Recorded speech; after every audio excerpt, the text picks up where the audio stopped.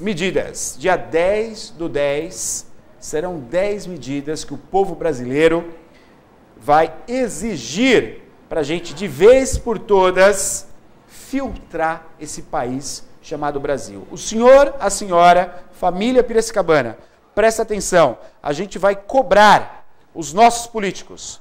Quem o senhor votou para vereador, quem o senhor votou para deputado, quem o senhor votou para deputado federal, é?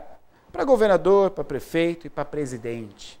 A gente tem que cobrar os nossos representantes para que essas 10 medidas sejam aprovadas. Pode soltar.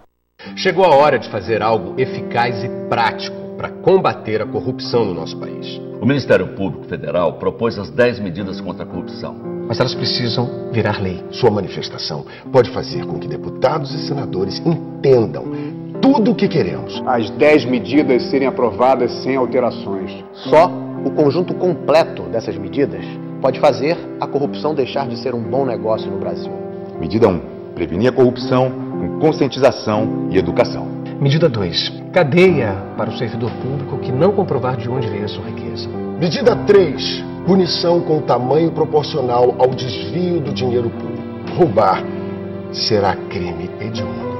Medida 4. Maior velocidade do início ao fim do processo penal. Medida 5. Processo direto ao ponto. E o réu que ajudar a justiça pode se beneficiar. Medida 6. O fim da barrigada jurídica, evitando que o crime seja cancelado por prescrição.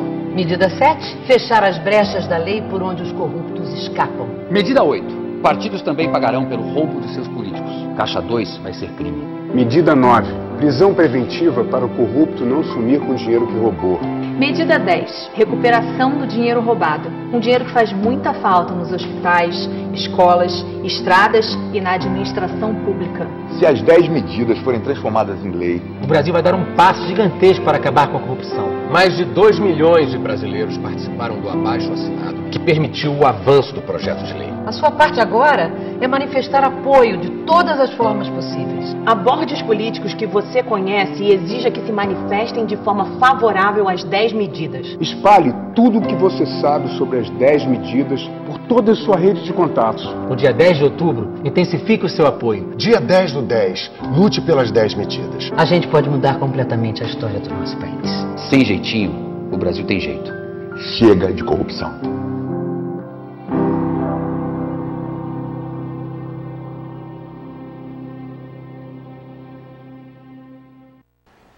Dez medidas, dez, dez medidas. Ministério Público Federal, parabéns, estamos juntos. A gente aqui aprova o Ministério Público Federal. Excelente trabalho, excelente proposta.